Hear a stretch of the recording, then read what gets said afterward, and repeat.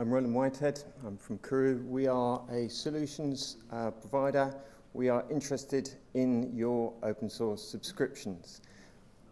I'm the last one between uh, preventing you from going from your lunch, so the quicker you write down our contact details, the quicker I'll actually be.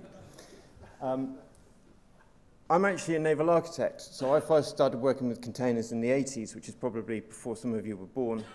Only in those days, containers were 40 foot by 8 by 8. Um, since then, I have designed and developed software, and I've run uh, IT infrastructures in enterprise. So I'm wearing a suit because I was a CTO of a company.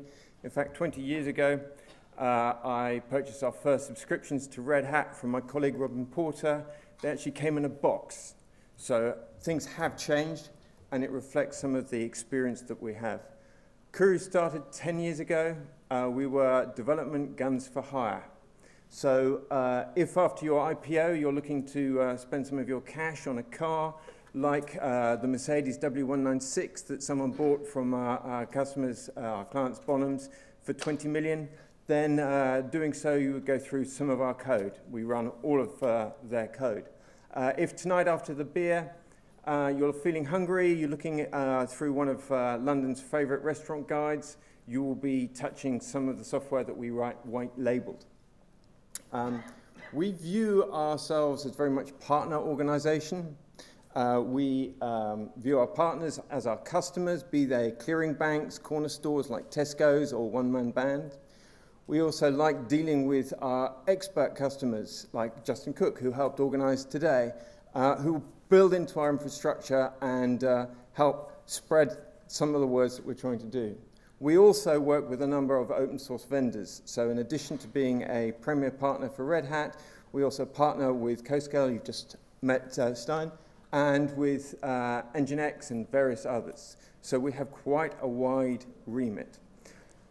We um, very much try to contribute to the community uh, we run uh, workshops, uh, which are free for anybody to attend on things that we think people will be interested in.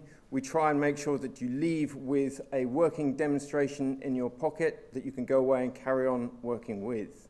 We also find all sorts of holes in, uh, in code that we will try and patch, also solutions that are missing, and we will do our best to make them public as soon as we can. So there are various little bits of code snippets that you will find that we have tried to contribute to. But we are not all about uh, uh, the community. We are very much commercial. We are looking for your subscriptions. We will do our best to save you money, either by giving you our experience, pointing you in the right direction, making sure that you have the right subscriptions. It's surprisingly how often people have the wrong subscriptions and spend far too much on them, or simply just getting you the right price. A little tip for today before you go off for your lunch. As a developer, the one thing I would do is go away and read the OpenShift API documentation. You might find something helpful in there. Thank you very much.